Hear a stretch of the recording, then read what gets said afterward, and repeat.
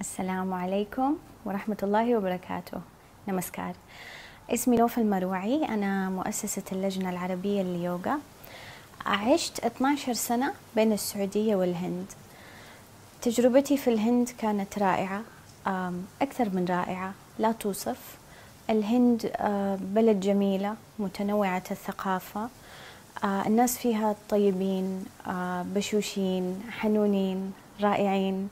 وكريمين جدا ومضيافين. تعلمت كثير في الهند من جميع النواحي. طبعا أنا درست واشتغلت في الهند وعندي عمل يعني شركة في الهند. أقدر أوصف تجربتي بأنها تجربة فريدة متنوعة.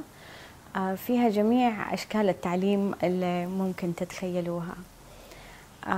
عندي معلمين في الهند عندي أصدقاء. عندي أصدقاء مقربين أعتبرهم من أعز أصدقائي.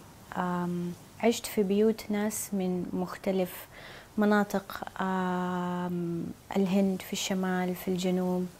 عندي أصدقاء حتى من ديانات مختلفة. عندي أصدقاء في الهند مسلمين مسيحيين هندوس وسيخ. جميعهم رائعين. مضيافين وطيبين ومحبين لمختلف الثقافات. كانت تجربتي معهم جميلة وما زلت أحب الهند ولا يمكن أنقطع عنها. يعني أكثر خبرتي في الهند كانت أو الغرض من سفري للهند وجلوسي هناك فترة طويلة هو تعلمي لليوغا طبعا والعلوم المصاحبة زي الآيurveda كانت تجربة رائعة. درست في الشمال ودرست في الجنوب درست في كيرلا ودرست في الهيمالاياز في ريشيكيش اللي تعتبر عاصمة اليوغا في العالم. غير أنه الطبيعة خلابة غير أنه الناس ثقافتهم رائعة وتختلف طبعا المنطقتين عن بعض. المعلمين كانوا رائعين. الدعم الاحتواء المشاركة الكرم.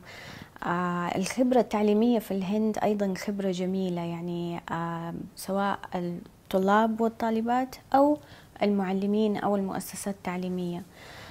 يقدموا الدعم يحبوا التعاون يحبوا الاطلاع على الثقافات المختلفة. كثير منهم أيضا يسألني عن ثقافتي ودائما لما أروح الهند أجيب لهم معايا تمور وعود وأشياء من ثقافتنا.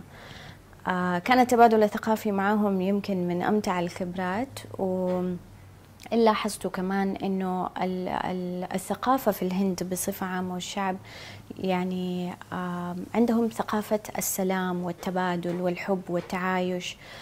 كنا من مختلف مناطق العالم من مختلف الخلفيات يعني الثقافية والدينية.